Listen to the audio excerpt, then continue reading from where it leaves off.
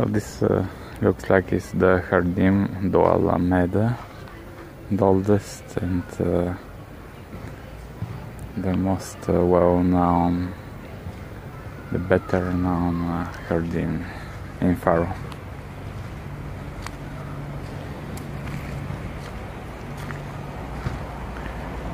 It's pretty small but uh, it's uh, nice and actually just I've seen a peacock walking over the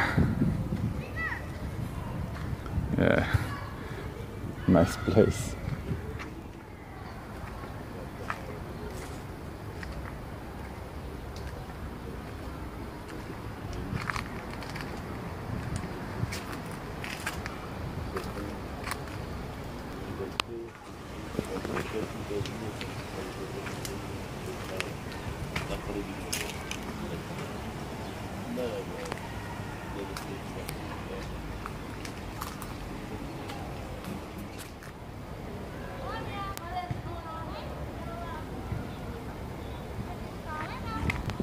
and here very nice.